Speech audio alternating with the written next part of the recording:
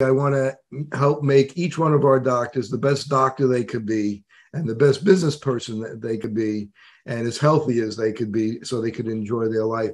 They always say doctors are bad business people, and the doctor is the worker. That's you know, right. people that have a business, they run their business. We're the worker. You know, right. so somebody else, uh, you can't do both. Welcome to the Dare to Be Different podcast, where I interview the movers and the shakers within our industry. Today, I have the pleasure of interviewing a longtime friend and colleague, Dr. Kerry Gelb. Dr. Gelb actually was one of my clinical instructors when I was a student. He was far beyond the times at the time because in New York, we did not have any privileges to even use proparacaine. And Dr. Gelb was teaching us how to remove foreign bodies, knowing that was the future of, of optometry. And that's why I wanted to interview uh, him today. So, Kerry, thanks so much and welcome to the podcast. Well, thanks for having me. It's good to see you, Nick. Thank you. So, yeah. Kerry, why don't you start from when you did your residency at St. Albans? I think it was a medical residency, and then just fast forward your career since then. Yeah, so I did a after optometry school, I did a VA residency for a year in at St. Albans with Murray Fingeret. Um, Murray Fingeret is a pretty well known instructor, lecturer, uh, glaucoma specialist in optometry. And, uh, you know, that was a very good residency. Doing residency at the VA hospital, you, you saw many different types of diseases and, uh, you know, I also rotated through the Brooklyn VA and downstate medical. So I would see a lot of crazy diseases from different countries. And I remember when I was in downstate, uh, so downstate is a city hospital in Brooklyn, and we would see the craziest diseases there, but they had horrible equipment. Hmm. So, you know, you are limited. So, to some amount by what kind of equipment you have. So there was a lot of guesswork going on, mm-hmm. but but uh, it was interesting. And uh, you know, I was in with the surgical residents, and I remember a quick story. You know, I was I was a resident, an optometry resident with the ophthalmology residents at the VA in Brooklyn, and George Gambos was the attending and he hated optometrists. He really wow. did. But I was there, and sure. but he liked me, but he hated optometrists. So he would go into. He would always ask questions, and he wrote a book on ocular emergencies. And I read his book, so wow. I knew all the answers to his questions. And the residents really didn't have any respect for him, so they never read his book, and they never knew any of the answers. So whenever he needed something, he would go into a whole diatribe on how optometrists don't know anything. But then there was something complicated, and he goes, Kerry, you do it. You take out that weird foreign body. You do it. You're the only one here I trust. And there I am with the ophthalmology residents after he, after he went into 15 minutes on how optometrists don't know anything. So, you know, it's optometry has really grown uh, since I did my residency back in 1980 in 1984. But I was able to look into the future and see that, you know, as a physician and as as an optometrist, we're really in a position to almost be like an internist because we deal with a lot of systemic diseases. And in the movie that we did, as you can see behind me, Open Your Eyes, we talk about there's close to 300 systemic diseases that can manifest in the eye. And as our technology is getting better, and now we have cameras where we could look at the retinal blood vessels at eight microns or 10 microns and did, you know, you know, we're in a position where we'll see changes, vascular changes, way before That's it's right. seen in the bigger blood vessels. So we have to be in a position to know how to do labs and and to, to make early diagnosis and recommendations for preventative medicine. So, so you know, so that's where, really where I cut my teeth at the beginning, and I got my philosophy because I always wanted to practice at the highest extent of my license and do what was best for my patients. So after my residency, I worked for an ophthalmologist for a while in the Bronx. Right. And then a friend of mine called me, uh, Fred Jerpy, uh, who some people on this uh, watching this may know, uh, who is who's retired. He lives in California now, and uh, he was a friend of mine who I went to optometry school. And he called me up and he said to me, when I was working for this ophthalmologist, he goes, uh, you want you want LensCrafters? He goes, I go, what's lens Uh-huh. crafters? I never heard of LensCrafters. Right. He goes, I can get you. You want to live in Florida? I get you all the LensCrafters in Florida. You can be the head optometrist of LensCrafters. I said, I never heard of lens. What is LensCrafters? So he goes, this is going to be the biggest thing. I'm telling you. You know, there's a lot of money behind it, and uh, you know. But at the point, I said, listen, I'm I'm living in New Jersey. I, I'm really not interested in moving to Florida at Right. this point in my life. But uh, you know, if an opportunity comes up in New Jersey, I, I would be interested, you know, and certainly learning more about it. And and uh, so there was an opportunity in New Jersey to get a territory where at that time, you know, you could get as many as you wanted. And I remember speaking with the head optometrist, who was one of the recruiters, along with Fred, who was an optometrist. And I remember him telling me, you could get whatever equipment you want. We just want you to be the best possible doctor you could be. Even though you're in a LensCrafters, we want it to be, we want you to give the best possible care. And, you know, I gave him a list of indirect ophthalmoscopy and camera and all these things that I never thought they would buy. And whatever I wanted, they got for me. And there I was. I, you know, I started in Woodbridge, New Jersey in 1987. Still remember October 5th, 1987, starting in LensCrafters. And I had all this great equipment. And uh, people, I couldn't believe how busy it was. You know, we'd open the doors and, you know, you don't know if anyone's going to show up. Right. And, you know, the lines were out the door and, and it started from there. And, and, uh, you know, and, and, you know, so, and I've been with LensCrafters since October 5th, 1987 and it's been you know it's been it's been a great journey really. Uh this you know look whenever you're dealing with a big corporation there's always going to be you know different leadership and you know people are going to have different philosophies. But as long as the philosophy is for us to give the best pos- possible patient care and to practice at the highest extent of our license then you know i think that's a really good formula for success Yeah, I'm just going to stop you for the audience. I just want to give a little background to get into that St. Albans uh, residency. There was very few residencies at the time, and the word was out. You don't want to do it, Murray Fingeret. He was tough. He was tough on his residents. It was one of the toughest residencies out there. There wasn't few. And Kerry somehow got through that residency. He probably doesn't even remember this, but at the time, New York State did not have even diagnostic privileges. So Kerry was a visionary saying, you know, I see where optometry is going and I want to be at the forefront. In addition, when he started working in New Jersey, I would hear from all the retinal specialists that I referred to because we had diagnostics in New Jersey, but we didn't have therapeutics at the time. And all the retinal specialists, all of them, you know, would say, do you know Dr. Kerry Gelb? Do you know Dr. Kerry Gelb? He catches retinal holes so far out in the periphery that our colleagues are not catching it. So Dr. Gelb's name as an optometrist, when diagnostics were just coming in the forefront in optometry, was among all the medical professionals without there. So you gained not only optometry's respect, but ophthalmology's respect when you did get out in the field. And then uh, you took on this LensCrafters. And at the time, how many did you take on in 1987? So we we started with one, and then uh, we added East Brunswick, and then we added a, a little bit later on we had uh, Freehold, and then Edison, and uh, we had Brooklyn for a while and Staten Island. We gave those back to LensCrafters. So uh, you know, I was involved in a number of, of LensCrafters over the years. And it has fulfilled your life, obviously, because you've stayed with them for 30 plus years. Yeah, I mean, I, I as long, as long as I could practice at the highest extent of my license and I could give the best possible care to patients, I'm happy. You know, the whole glasses part of it, you know, I really was not never that interested in anyway.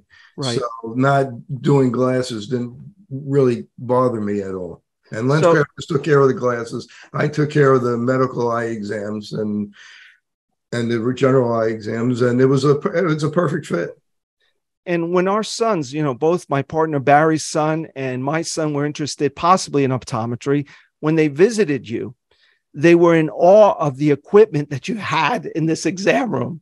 They said, This guy practices at the highest level. So why don't you? We're going back literally 15 years ago when OCT was rarely heard of. Tell us a little bit about how thoroughly you practice medical optometry. You know, I always felt that, you know, to practice properly, you have to have the tools. So I was always willing to invest in the tools. And I had the first generation OCT. I probably had five different OCTs That's right. in my one office now because it keeps changing. I have angiography now. And and you know, and probably the the in addition to OCT, I have multispectral imaging. Unfortunately, I don't make it anymore, uh, but hopefully they'll start. They're going to start making it again, and that really allows you to see the the blood vessels at a very small level.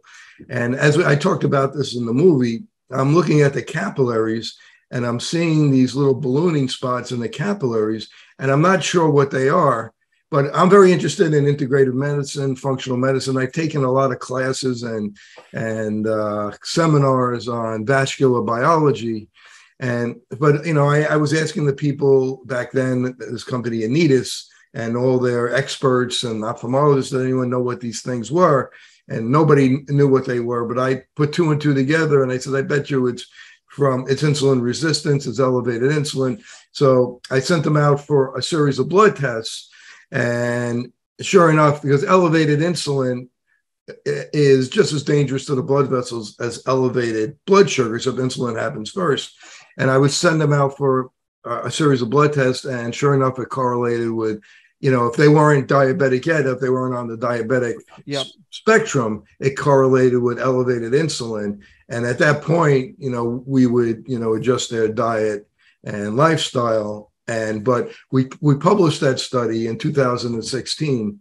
Uh, I published it with Stu Richer, with a cardiologist, uh, Jeffrey Gold, and uh, Jerry Sherman, and it showed that the these little uh, microaneurysms in the capillaries of the eye correlated with insulin resistance, and it kind of puts an optometrist as our technology is getting better because you can see them on OCT angiography. So it, it, it puts us in a position that if we're seeing this, we could we could help prevent someone from becoming diabetic.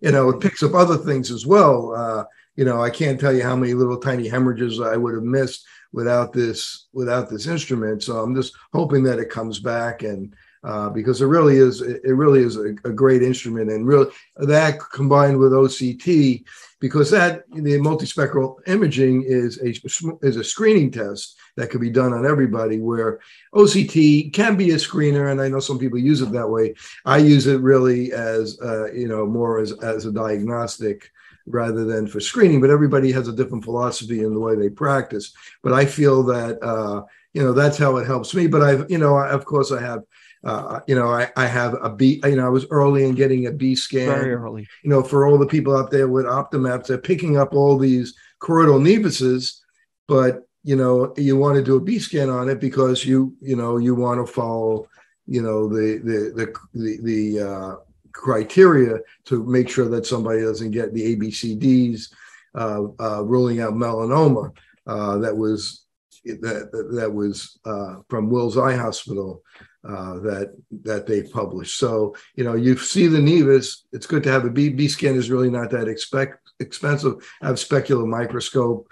You know, I even have right eye now. So you know, I try to have the technology and aberrometry. You know, I can't tell you how many times I'll see a patient that you know they don't see good and you know you think there's nothing wrong but it's really that their cornea is warps either right. from wearing their contact lenses and i just had somebody the other day that's been to like five doctors and they you know they you know they keep fitting him with different contact lenses and it's really the guy's the kid is he's a minus eight with four diopters a cylinder and he's over wearing his contact lenses and you know by having aberrometry he was really helping it was really pretty easy because i have the technology so it makes me look good Right. But, you right. know, if you have the technology, it's easy to, to look good. Yeah. And and so you've used the volume of patients you've seen to really study and, and work optometry like you wanted to. Why don't you tell the audience how you order these blood tests? You know blood testing and analyzing the blood tests more than some of the internists I work with. What sparked your interest in that area of optometry? so bef- uh, before when I talked about the melan- ruling out melanomas, it's Jerry Shields and Carol Shields. That's right. Who uh, came up with that. So uh, as far as blood tests, well, I realized, you know, from taking these classes that you're going to have to do.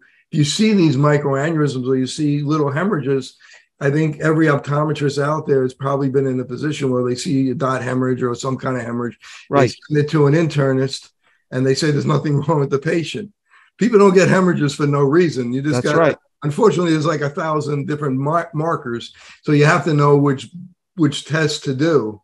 So, you know, I spent a lot of time uh, learning and studying blood tests. I actually gave a lecture for OD Wire a, a, while ago with a cardiologist on blood tests. But you know, it's not only you know diabetes that could cause uh, little hemorrhages. It could be high homocysteine, high fib- high fibrinogen. Uh, very elevated platelets. I mean, so you want to make sure high insulin, Sure. uh, you know, two hour insulin, sometimes it could be. So, you know, so I really spent a lot of time because I was fascinating with fascinated with it and really at a necessity of referring patients over and over again and them telling me there's nothing wrong with the person. right. I know that pe- people aren't getting hemorrhages for no reason. There's not nothing wrong with somebody. I remember when we went to school way back when, if you saw peripheral hemorrhages, they said, "Well, that's normal. You know, peripheral hemorrhages are normal." But peripheral hemorrhages are not. No. normal. A friend of mine uh, had peripheral hemorrhages, uh, and he goes, "Well, I got peripheral hemorrhages." I go, "Well, you're." You know, you're probably insulin resistance. We need to do some of these blood tests. He goes, Well, the retina guy told me not to worry about it. And sure enough, three years later, the guy's diabetic. Right. You know, right. So I mean, so you just have to know the right blood test to do. Right. They're not innocuous. So you really have practiced optometry in my eyes at the highest level. So that brings me to myopia management because that's my forte, that's my interest. And I know you've been fitting like the CRT lens, I think from when it first got FDA approved, correct? Back in 2002, almost 20 years ago? Yeah, I actually was one of the first ones to do it. I remember when they came out, Paragon came out with with CRT, and you know, people were doing ortho K for years before it was FDA Right. approved. And uh, but I wasn't doing it before it was FDA approved. I, I well, when it became FDA approved, uh, not that I have anything about against doing things off label, because you know, as physicians, we have to do things off label. That's true. Only about, you know, I think the statistic is about 16% of what physicians do. There's been a randomized controlled trial. So we have to do, we have to prescribe Tobradex sometimes when, you know, there's no clinical trial. I mean, we have to do what's best for the patient, or, we, you know, we have to fit a contact lens a certain way. And I don't think there's any clinical trials on refracting. I, I never saw a clinical trial on the best way to refract. But I did do it when CRT came out, and it just made a lot of sense to me, you know, because you know here- here's an alternative to refractive surgery, and uh, and I and I did it, and I was getting great results. That's the thing, is that you know sometimes you'll do things, and if you're not getting really good results, you're not going to do it because you know you know you're you know you're you're you're dealing with people's lives and Sure. Vision. people's money and and time and and your time and and you know so you want to make sure you're doing something that works and i remember the first crt patient uh, i had uh, they were probably they was in the threes. I remember they were in the minus threes. I don't remember exactly but i remember putting the lenses on and telling them to go t- take a walk in the mall come back in an hour and I take the lenses out and they go from like minus 350 to minus 150. I And know. I said, Holy cow, this is amazing. Remember the parents were like blown away who who was doing it. And it was just like, this is something.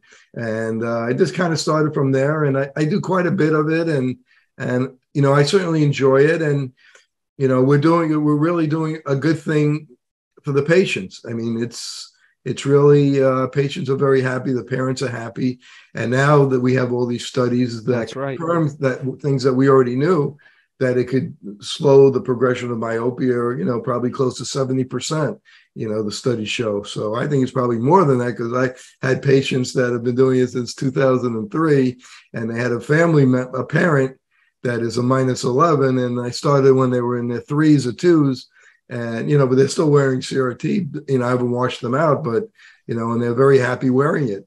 Yes. And you know, and I've had patients that have do, that have become presbyopic that have been wear, using CRT, and they get some kind of sometimes they get some kind of reading effect, and they're able That's to true. read. I'm not even sure why, but it it works, and and they you know because of the way the the cornea is the spherical aberration. I guess I, I'm not really sure. You know better than me, but they they they could read, and you know I have a patient who's 60 and I started doing CRT when you know in 2003 and she still doesn't need reading glasses. And she and she can see 2025 to 2020 she really doesn't have much of a refractive error. Right. so if you do CRT and you do it right it's very rewarding. And of course we know about all the things that it could possibly prevent is you know cataracts macular degener- myopic macular Yeah. Retinal detachment etc But the, the, the point here is that you started it 20 years ago, give or take, and you're still doing it. A lot of people tried it, dabbled in it, ran into some roadblocks, which I'm sure you have, but yet your personality is this is working. I just got to learn how to work it. So it shows you a level of perseverance that it seems to have transcended through your career is this ability to make a decision and keep sticking with that decision, even though I'm sure you've reached a lot of barriers along the way. Am I correct? Yeah, you know, you have to have a passion for it and you have to keep learning. And, you know, and if you're innovative and you're doing, you're studying, I always tell my doctors what, that work for me, you know, I still see patients four days a week, but I tell my doctors that come and work with me that, you know, I'm paying you to be smart. Okay. When you're, when we have downtime, I want you to study. Wow. I want you to be smart Wow. you know and uh you know you know we don't sell i don't want you we don't have to push anything here i just want you to do what's best for the patient and be as smart as you can and everything will fall into place Yeah. So that brings me to your role as a leader. And I wanted to spend some time with that topic is that th- why don't you tell us what All Docs is? Because I've spoken for your group once or twice, and both times you were the president, you were the leader of this organization. And I was enamored by how you're able to instill your ethics, your ability to grow onto the onto the doctors that you're really leading. So what is all docs and and tell us if you've been the president, how long you've been the president for. so all docs was a uh, was an acronym coined by a past president harf sylvan dr harf sylvan uh, a good friend. And it means association of lenscrafters leaseholding doctors. And so we're the leaseholders uh, that work with lenscrafters and we have an organization. And i'm the president of the organization. And i remember when i took over as president you know you know there was some turmoil some turmoil between corporate and and all docs at the time and i came out of the bathroom and they go you're president what year was that? oh that was about 15 years ago Wow. I don't remember the year exactly, but about 15 years ago. And I remember, you know, we were on, we were in some meeting. I think we were in Canada or something. And I said, okay, well, if I'm going to be president, you know, I used to just be a a board member, and I used to go to all the meetings and, you know, enjoy all the to all the trips, and it was all Right. fun. I really, I got to say, I really didn't do a lot at that point. I just kind of gave my opinion, and and now they're telling me I'm president. I said, okay, well, things are going to change because if I'm Wow. president. I'm gonna I'm gonna change the direction of the organization. We're gonna make the organization bigger. I'm gonna you know I'm gonna and I'm gonna change the philosophy. And my philosophy is really I want to help make each one of our doctors the best doctor they could be and the best business person that they could be and as healthy as they could be so they could enjoy their life because you know you know you know we have we have to work you know a lot of hours and we're responsible to be there seven days a week. So you know if we can't find somebody you're the one there. So uh, so we want people to be healthy and smart and be good business people. So to to you know not only to be to for good financially but to to to be healthy uh, from a mental point of view because it's a very it could be a very difficult job And to that end, you just you get these speakers to come. You pay them several thousand dollars to come to speak to your doctors about maintaining their emotional health, maintaining their physical health. So you, it's just not lip service you're providing to these doctors, correct? Yeah. So a number of years ago, I decided that, you know, I'm very interested in integrative medicine and health and keeping myself healthy. So I figured, well, if I'm interested in, you know, I think most people will be interested in it. And I want to bring this to to my members. So I so I, I brought, you know, famous people that are an optometrist to speak to our to our group. You know, I brought like p- people like uh, Nicholas Gonzalez, uh, uh, you know, people that have, you know, he was an expert in cancer. I brought I brought people that have been experts in Dale Bredesen, who is an expert in Alzheimer's disease. So I brought different types of people with different types of backgrounds to speak to our group uh, Mimi Guarneri, who is a who is a cardiologist, just to give kind of a different philosophy because I think it's important as optometrists that we are very we we are a very integral part of the healthcare system, whether we sometimes whether we realize it or not. And the more you could be part of that healthcare system, the better job you're going to do for your patients, the better respect you're going to get from your your non-optometric colleagues, you know, I, am in the movie Derek De Silva, who's in the movie, who's who's also was an internist who spoke to the group. He goes, I never knew that you guys do any of this stuff. Right. You know, he goes, I didn't know I, what an optometrist was. He goes, I'm a physician. I have no idea what you guys do. And I think that's one of the problems with optometry and one of the reasons we made the movie open your eyes a documentary and one of the reasons i do my uh, podcast also my open your eyes podcast is it's for the public and for the doctors because I I interview some very smart doctors like yourself, like Barry Eiden, you know, so many very uh, brilliant optometrists, and I and I also interview uh, vision scientists, ophthalmologists, uh, different topics, and it, people in integrative medicine such as Alan Christianson on thyroid. You know, everything pretty much affects the eye. So, uh, and I just want the the public to know what we do, that we're not just glasses, we're not just a refraction. Right.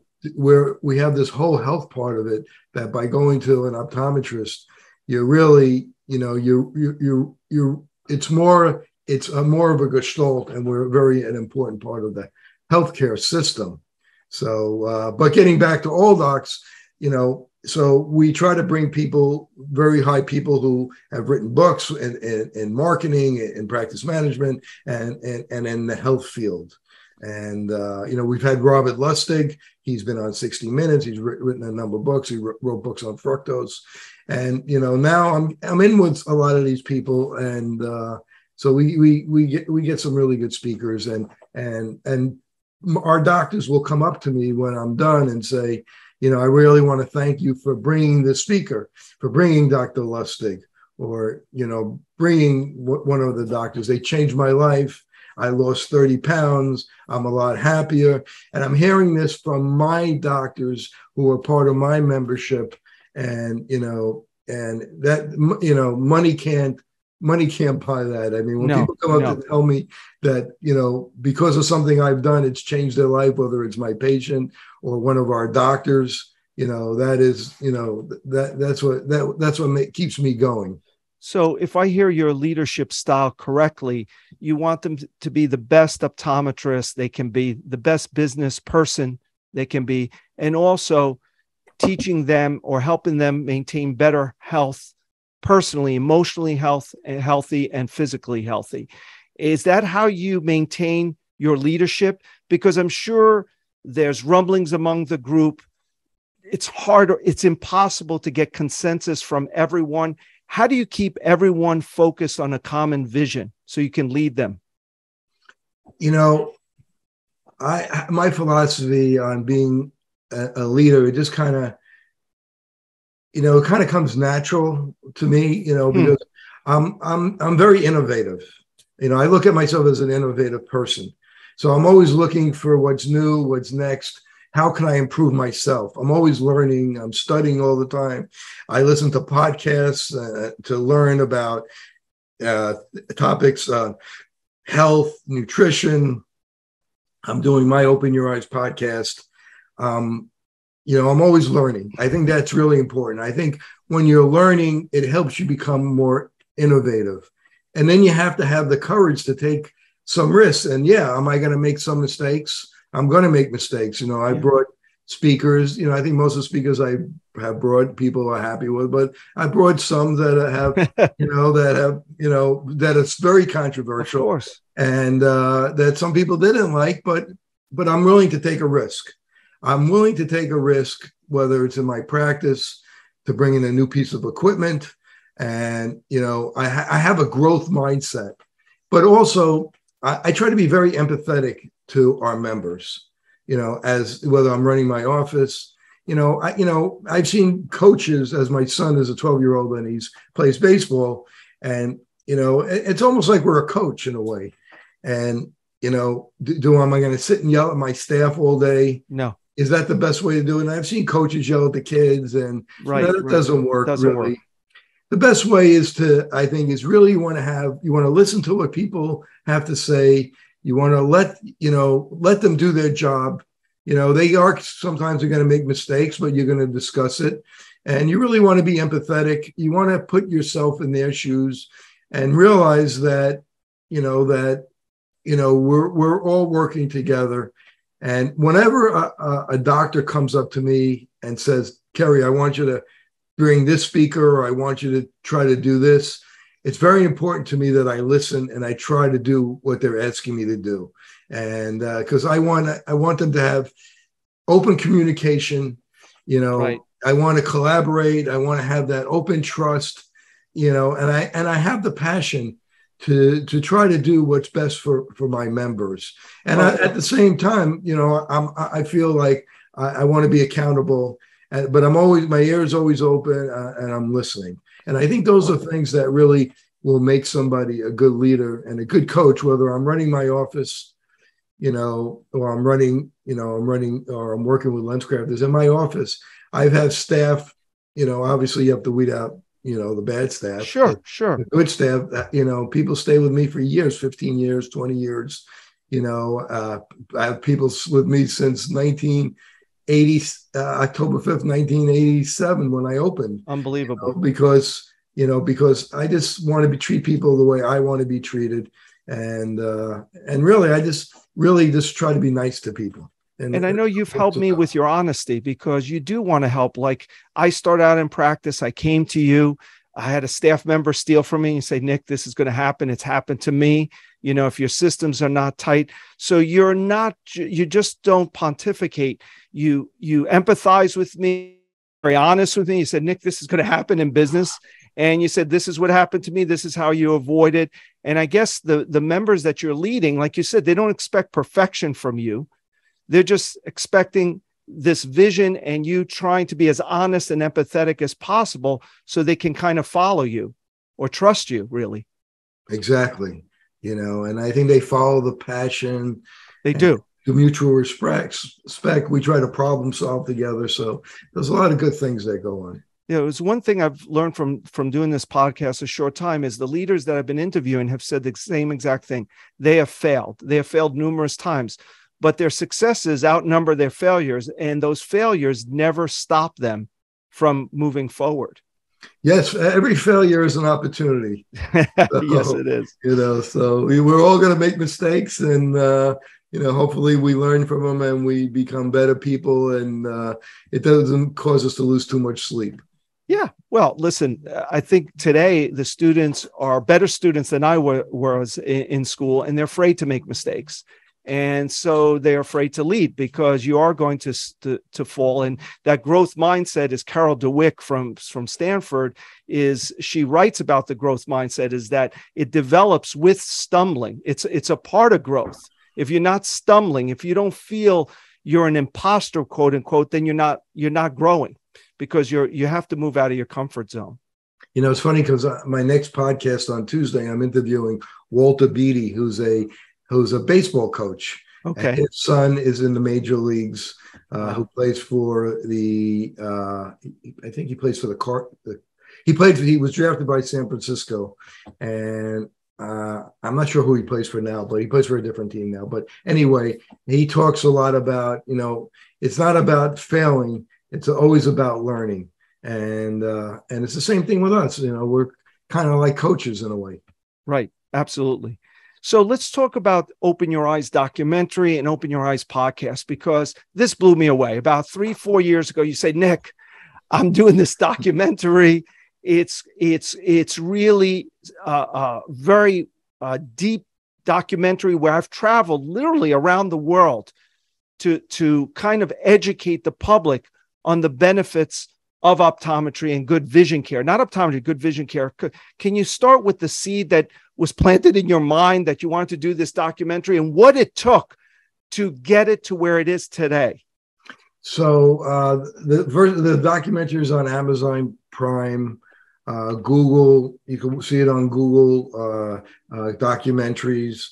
Uh, so you know the the the it's it, it's out there. I mean, you could you could see the the Apple TV. So the, it's you can watch the mo- movie, and if you do watch it, please give it a, a, review. The more reviews, the more people watch it, the better it is for optometry. But the reason we did the movie is, you know, three four years ago, you know, we were looking at the disruptors in the industry. And, you know, I feel that we don't have a very strong voice telling the public about what we do. So we need a, a way, you know, because if you just have one voice telling the public, you don't need to get your eyes examined. You just have to look at your cell phone and we're going to examine your eyes and we're going to change your prescription and we're going to give you the contact lenses and you don't have to stay with the same contact lenses you're wearing. We're going to substitute it with maybe a contact lens that's not done by one of the four companies that have put in probably billions of dollars of r&d you know we're going to use some inexpensive contact lens maybe from malaysia or, or some other co- country and and but the people aren't hearing our side. They're only hearing that side. Nobody right. knows our side. So why should they go to us? I mean uh, of all if they could do what we could do with a cell phone they don't know the whole medical part of what we do. They right. don't know that there's close to 300 systemic diseases that could be that we could find in the eye. Many times we're the first one to find it. So that how we could help patients and prevent them from and all the ocular diseases, you know, that we could see. Uh, and so, but people don't know it, and if they don't, if we don't tell them, they're not going to know. So you know, and so we decided that we're going to try to do that. We're going to put do a movie. Uh, and I had I had a friend who who does mo- who makes movies. Hmm. I went and approached him, and it's actually a friend of my friend. He, he, you know, I watched. You know, I'm into health, so I watched this movie, Cut, Poison, and Burn. It was about cancer, and I really like the movie. He did. He does a lot of sports you know, with uh, basketball or whatever, and he did kids sports with baseball and you know I really liked his style. So we went, we spoke with him, and and you know he had to learn optometry. You know he knew nothing about what we did, and you know as a movie maker, you got to learn the field. And I remember the first thing he went to was uh, was Vision Expo back in you know 2000 and I think 18 it was. And you know here he is. He has to learn the profession. Right. One thing led to another. We started traveling and we went to different countries and we the movie has a lot of different uh, subplots. You know it has something for everybody. We have the centenarians. So we have something in the about centenarians why they live so long. So we were in Nicoya costa rica examining one of the blue zones examining the centenarians and finding out why they don't get macular degeneration. They're 100 but why are we getting macular degeneration right. in the west and then we had the whole myopia part that we talked about. We and then we went to Budapest, and we interviewed uh, Dr. Zsolt from Budapest on myopia control, and one of the doctors in Costa Rica. So, so, so you know, so and then we had the whole nutrition part of it.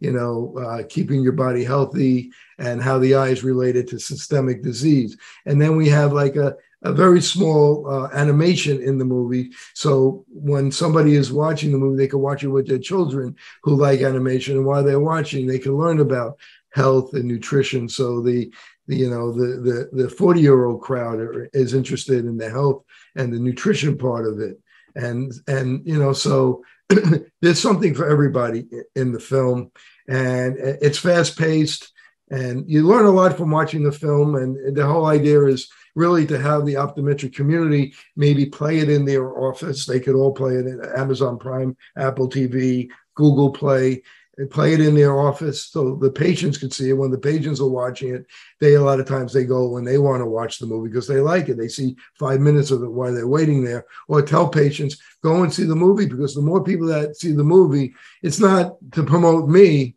it's to promote our profession. That's why I did the film. Not only it's it's to promote. I've seen it. I've sent it out to so many of my referral sources: primary care docs, specialists, physical therapists they've all come back and said i've learned something and and they were very very enamored by basically for themselves to be honest with you that the lifestyle we're living today is not a healthy lifestyle and you went into depth with this by visiting like you said these blue zones and visiting people who don't have a lot of the common disease that we have in modern society. And the question is why? So i i recommend every listener to watch it. I'm sure they'll enjoy it and it will benefit them in particular as much as their patients.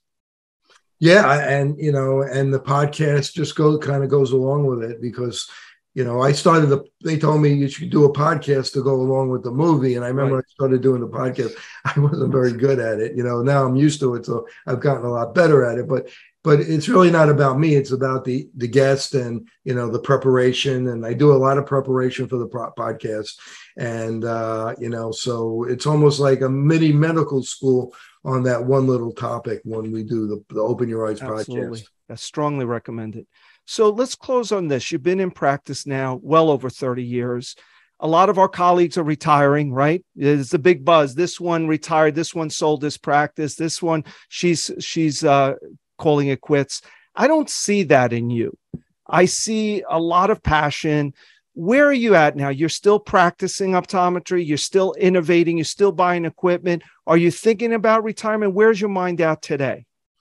Oh, that's a that you know that's a great question.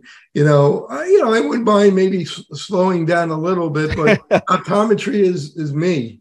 You know, yes. taking care of patients. You know, and I often say, you know, I'm a optometrist. I'm an eye doctor first, a business person second. You know, uh, some people are business person first and an optometrist second or a doctor second. They always say doctors are bad business people. And one of the reasons doctors are bad business people right. is because the doctor is the worker. That's you know, right. people That's that have a business, they run their business. We're the worker. You know, right. so somebody else that you can't do both. So, you know, that's why you need such good people that you could trust. And that's why, as you brought up, there's going to be theft because we don't really run our business. We're the worker. That's so, but uh, I love what I do. I love optometry, and you know, maybe I'll slow down a little bit. You know, do more into podcasting, and uh, you know, I, you know, I've gotten some opportunities to, you know, to do uh, regular podcasting on on uh, on some podcast channels. So we'll see what what what what happens in the future. But I'm always my interest is really is to promote optometry and teach the public about what we do and teach our students and, and review for our colleagues some of these great topics in our great profession. Well, Kerry, you know, you you've played a big role in my career. You know, early on and throughout, you walk your talk. You epitomize uh, that it, no matter where you practice, how you practice, it's up to you to set your own standards. And your standards have been remarkably high uh, throughout your tenure. And that's motivated me to be the best I can be. So I want to thank you very much getting up early this morning, sharing some clinical pearls and also some emotional pearls with the audience. It really has been an honor to have you on today. Nick, thanks for having me. You've always been a good friend, a great colleague, and I admire you as well. Thank you so much. Okay, everybody, you've been listening to the Dare to Be Different podcast. Remember, it's your life, your practice, your way. Have a great day.